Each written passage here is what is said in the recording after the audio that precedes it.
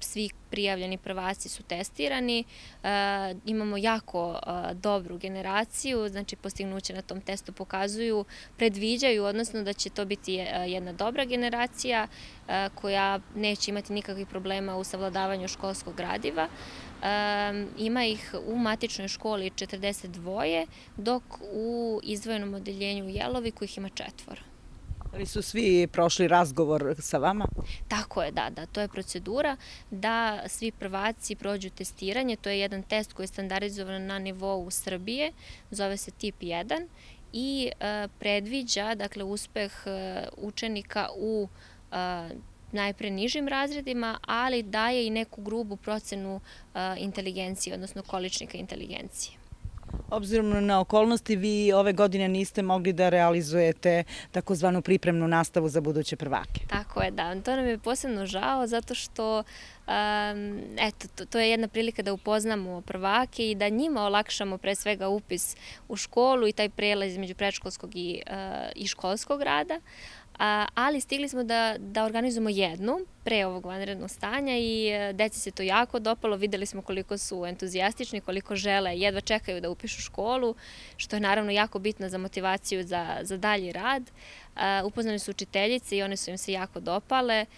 Ove godine e, primaju prvake Nataša Nedeljković i Božana Genadijev u matičnoj školi.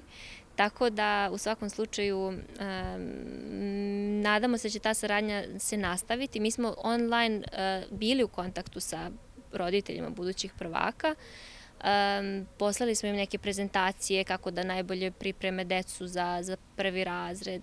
E, to su neki saveti i za držanje olovke i za koncentraciju e, i svakako oni saveti kako mogu da najbolje i najtoplije pripreme dete za, za početak škole, a tu je pre svega bitna podrška i poverenje između roditelja i deteta da ono može da izrazi sve svoje strahove i da roditelji naravno koliko je u njihovoj moći odagnaju sve uh, strahove koje imaju i da im pomognu da se, da se prilagode na školski život. Da li đaki prvake očekuju neke novine u narodnoj školskoj godini? Uh, dakle, ministarstvo je isto pripremilo novi program, odnosno novi predmet digitalni svet se zove i to će učenici imati u svim nižim razredima, ova generacija koja sada polazi.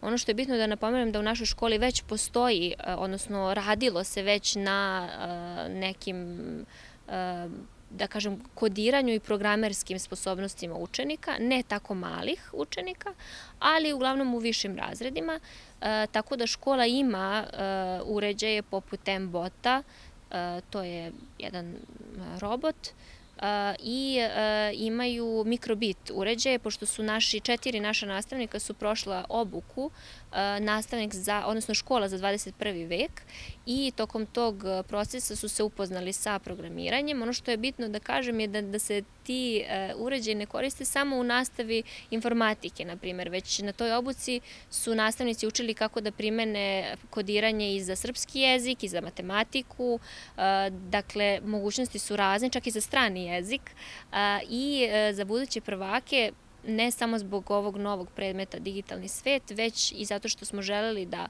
ponudimo prvacima kvalitetnu i savremenu nastavu, kupljene su i kupljene su i VR naočare, znači za virtualnu realnost i e, imamo aplikacije uz pomoć kojih će učenici moći da, da koriste te naočare i da bolje i e, nekako življe e, nauče ono što, ono što su sadržaji drugih predmeta. Znači ne samo informatika, ne samo digitalni svet, već pokušavamo da povežemo sve predmete, da ih digitalizujemo, ali naravno za to je potrebno da budemo u učionici i svi se nadamo da će od septembra se situacija normalizovati i da ćemo moći da primenimo sve što smo pripremili.